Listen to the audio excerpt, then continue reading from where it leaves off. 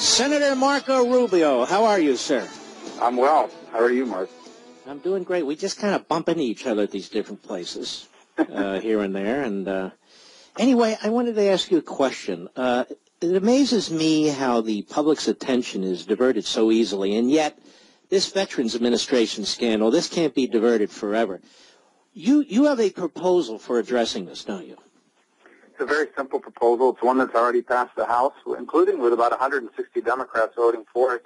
And what it says is that the Secretary of the VA can fire an executive who isn't performing his job. I know people might be shocked to know that, that they can't do that right now. And the question I most often get is, why don't we do that for the entire government, which is actually a very valid point. But at a minimum, let's start with the VA. And unfortunately, so far we haven't been able to get a vote on it because Harry Reid is blocking it. Yes, it's it's amazing what uh, what uh, is controversial in Washington D.C. So basically, we have these public sector unions, and Harry Reid is is protecting that. They're not even the public sector union, just a portion of their membership, a tiny fraction of their membership, even though they need the management flexibility to take care of the vets. Is that correct? That's exactly right. Look, we, about a week ago, we had a general fired who was running a military hospital because he wasn't doing his job. Well, you can do that in the military, you can do that in the private sector, but you can't do it at the VA. The secretary cannot fire an senior executive employee who doesn't do his job. In fact, statistics show that you are likelier to get a bonus or a raise than you are to get fired, even if you're not doing your job. There's zero accountability. So it passed overwhelmingly in the House with, as I said, 160 Democrats voting for it. We've got 11 Democratic co-sponsors in the Senate. All the Republicans are on it. And uh, we can't even get a vote on it. You know, this Harry Reid runs the Senate like a dictator, and the fact of the matter is you can't get a vote on it because it would pass. Isn't that correct? It would pass overwhelmingly if we got it. And I believe eventually we will if we continue to ratchet up pressure to get it done.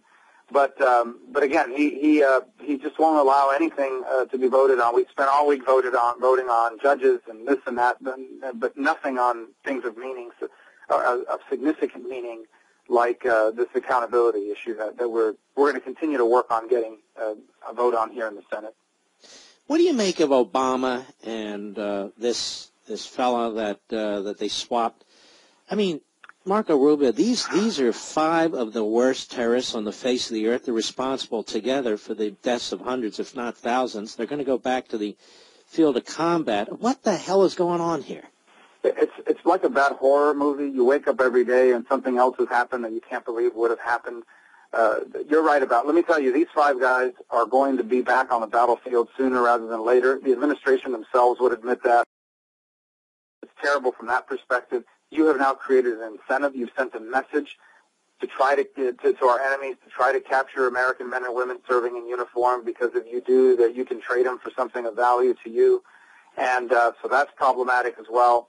And then let's not, last but not least, he didn't, he, he violated the law in the way he did this. By law, if you, before you release anyone from Guantanamo, you have to notify Congress with 30 days notice. He just completely ignored it and moved on and did it.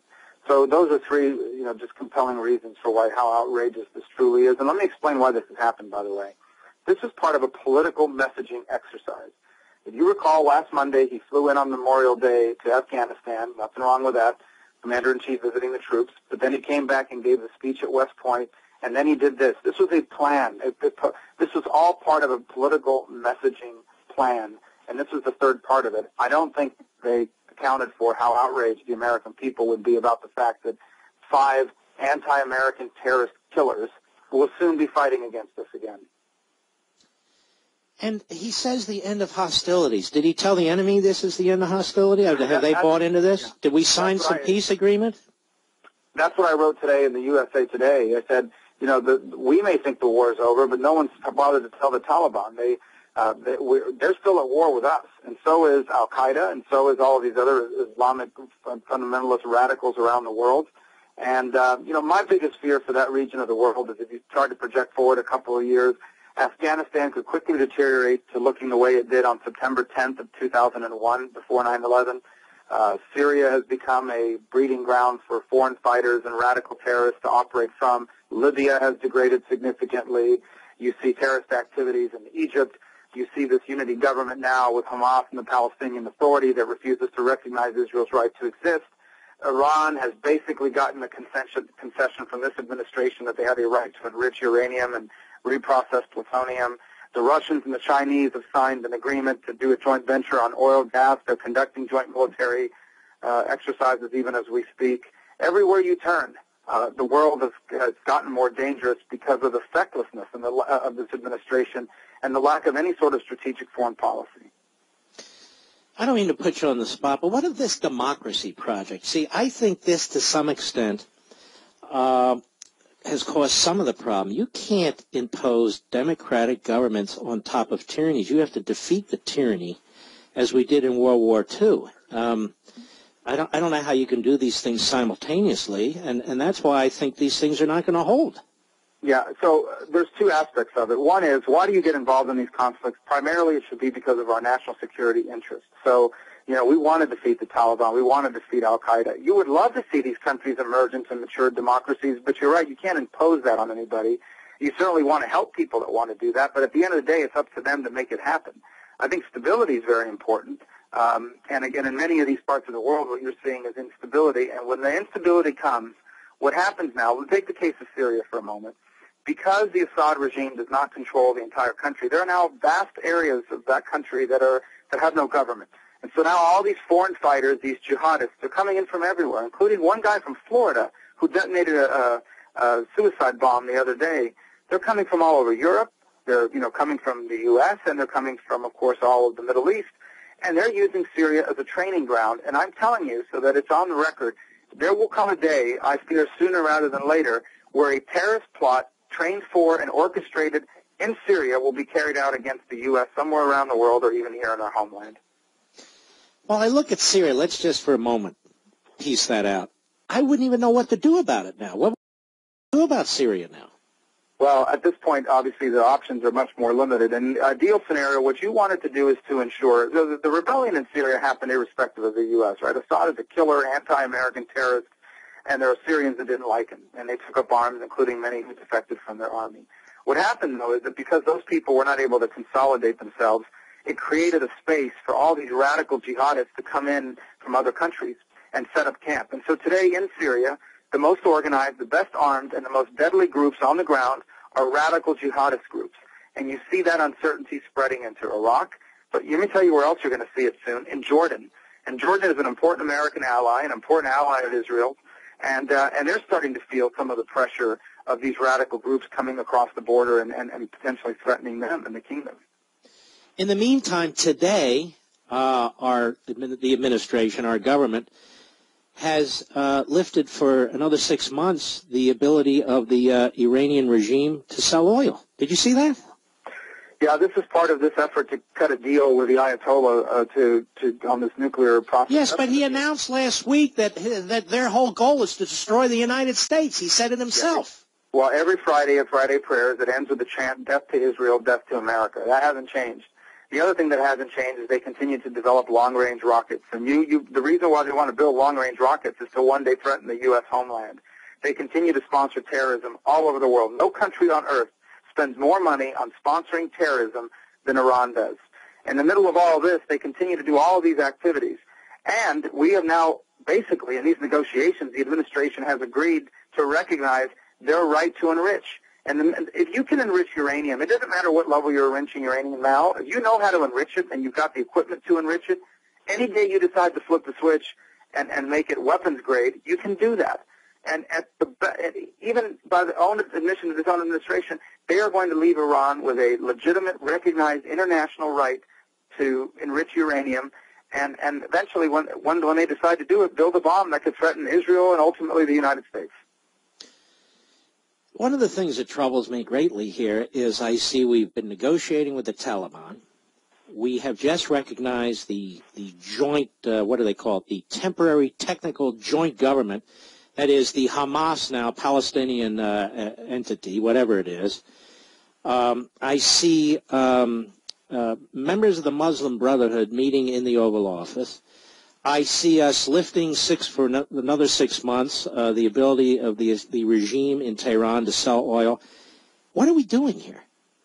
This administration came in with the idea that if we were nicer to people, the reason why they hated us is because we were too involved, because we were too stern, because they hated George W. Bush, whatever it may be, and that if we were nicer to them, that they would then stop being terrorists. And you see how silly that is. And there are parts of this world, the Middle East being one of them, where sometimes this language of reconciliation is viewed as, as an invitation to become even more aggressive. And, and that's what's happening here in place after place. And, um, you know, with regard to what you just pointed to with, with Iran, I mean, they don't, they view like they're coming at this from a, a position of strength. And uh, they think that Obama is desperate for a deal. And in their mind, they win either way. You know, these sanctions are now going to be very difficult to reimpose in the future. Uh, if the talks fail, if the talks don't fail, at least from their perspective, they're going to have an internationally recognized right to enrich uranium, which means when they decide to enrich it to weapons grade, there'll be nothing we can do about it.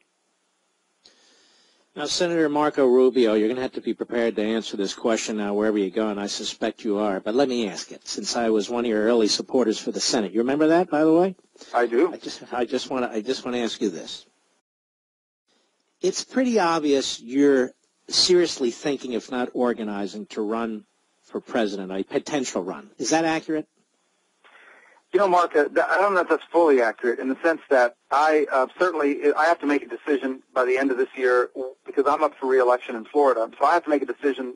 I think something that every pub, somebody in public office should ask themselves: Do I want to continue to serve in office for the right reasons, or is it time for me to do something else?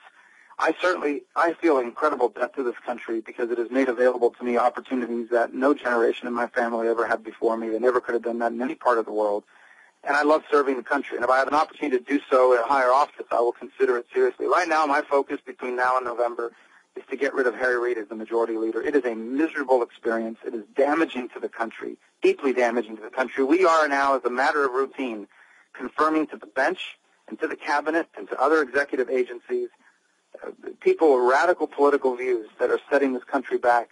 You look at what's happening at the EPA, you look at what's happening at the Labor Department some of this damage they're doing is going to take a decade or longer to, to, to reverse. But you can't so, stop them in the Senate because he's destroyed the filibuster rule.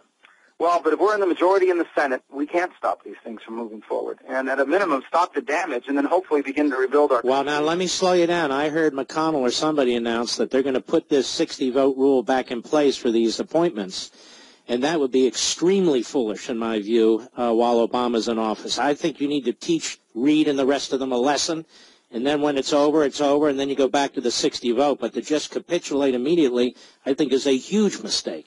Well, that's a valid conversation for us to consider given what they've done. But I can tell you it won't matter in the short term because you won't be able to appoint judges that are radicals or uh, member agency heads that are radicals because they won't they won't have a majority to even offer them. So it, it just look, have have you looked around your caucus lately? There's a few of them who will buckle.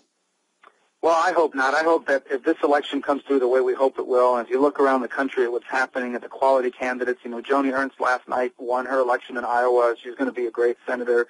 Tom Cotton in Arkansas, Cory Gardner in Colorado. Sasse. We've got great candidates all over the country. You got Sasse in Nebraska. That's that's a yeah, sharp ben dude Sasse there. In Nebraska is a is a guy who's going to come in and be a leader from day one. I mean, you talk about a guy with executive experience running a university, also kind of his background is, is very intelligent. And, and there are others that I'm probably missing here. We've got a great group of candidates, and and I think they, you know, one of the things I'm interested in, I don't just want people that are going to come up here and vote right.